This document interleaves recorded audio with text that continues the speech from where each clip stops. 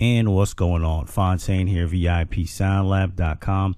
Not going to run too long. Just want to show you this new expansion that we just created for Kontakt, and we're calling it the Kontakt Battle Drums. Basically, it's just an expansion of our Maschine Battle Drums. And the reason why this is so dope, man, and I spent a lot of time on this, I thought it was dope because it gives you the opportunity to actually switch out sounds real quick when you're in your session. Because I noticed that I've been getting a lot of emails, a lot of producers been hitting me up, and I've been taking into account their workflow and how they want to go about making music. So I was like, yo, let me go ahead and put this together right quick. Cause I came up with a concept. I was like, yo, this would be dope like this, man. Cause what I did was I separated each MIDI channel for the snares, the hi hats, the kicks, and all that. So I noticed like a lot of producers want that. So I was like, yo, let me go ahead and incorporate this into one of our expansions because I think it'll be a dope idea, man. Because that's that's what like a lot of producers want. And then it dawned on me, and I was like, yo, that also gives you opportunity to browse sounds quick and switch them out real quick. So for example, okay, like here's one group right here. It's a, it's a snare group, right? So I, I can go through the snares. So I can, I can go through the snares like real quick. I'm tapping on a MIDI keyboard, by the way. But um, cause it's on a different MIDI channel. Okay, so let's say if I was down here, say like on the kicks, down here, and let's say I'll hit it like a kick like this. It's like a gritty kick. See, now I could be over here messing with the kicks and be over here on the snares on my keyboard. You know, just browsing sounds, just looking for what I want. Real, it's, you know, just real time browsing, real fast and easy from the entire drum library. Now, this gets a lot more complex, so stick with me and I'm going to show you what I mean. So, for example, let's just say for the sake of argument, here I am over here inside Maschine, and I'm going to make this into a, uh, a template also.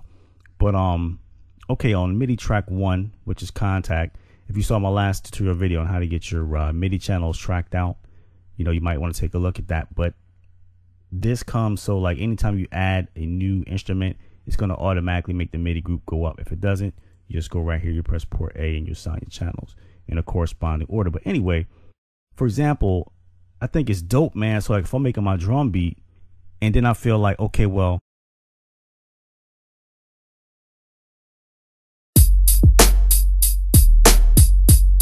You know, just something real simple, just like a boom, boom, crack, boom, crack, boom, boom, boom, crack, boom, crack. You know, quick one bar loop.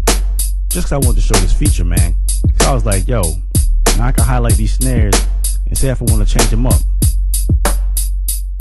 Now I'm doing real time changing of the snares. And this goes on like forever, man, because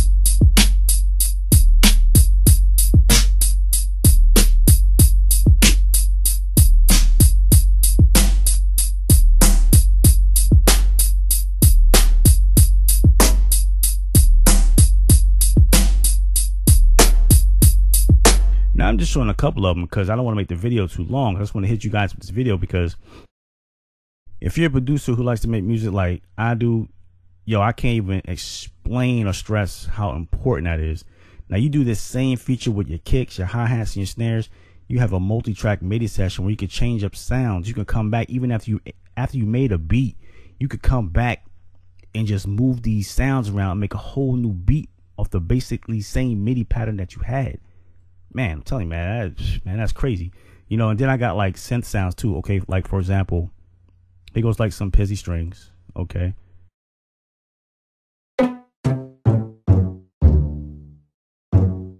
Now, if you're on your uh, MIDI keyboard, of course, you got the octaves. You can go up and down the octaves.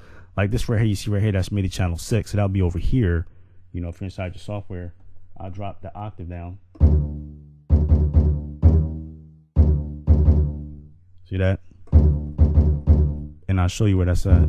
Because if I hold the key down, that's the easy way to find it on the uh, the MIDI screen here. See it way down there?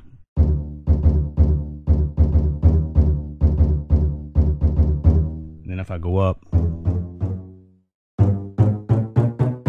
and it's also velocity sensitive. Like if I tap on the, uh, the keyboard real light, see it's kind of light. If I hit it harder, It gets louder? You know, so the velocity's there, so you can control your velocity on that, so that's dope.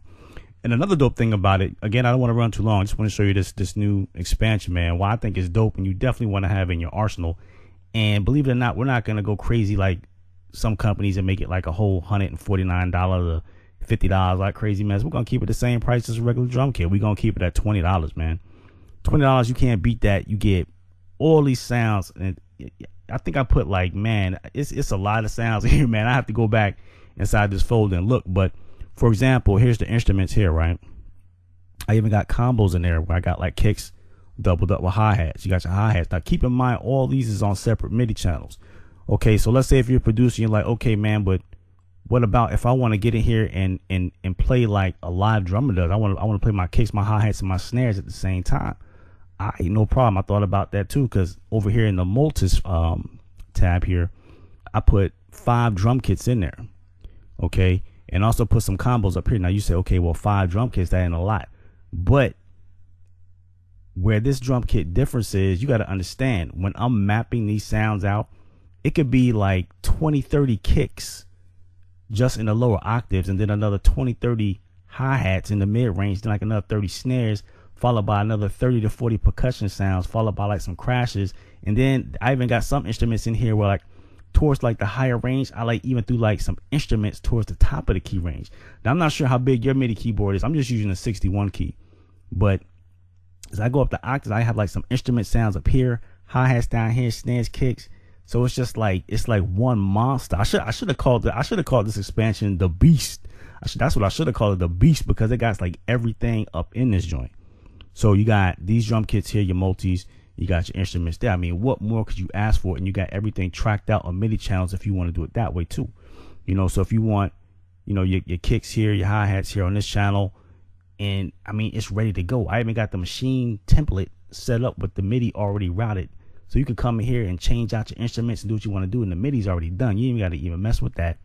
So why even fight about it? You know what I'm saying? Then, you know, I even have instructions on how to load the library because all it is, the library when you go on it you just simply um you add the library and you're going to see the Kontakt battle drum come over here on the browser and uh and Kontakt. okay? Here's the information icon right? So i even added you know i know some people might have problems say with missing samples.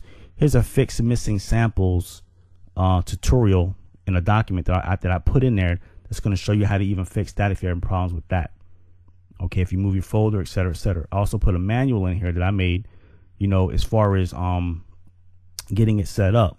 So for example, let's go to here's the manual here. Well, this is the draft that I have on my computer here. Okay. What you'll have, you know, it won't it won't look like this depending on what you have to open it. But for example, Kontakt battle drums library instructions, right? Okay.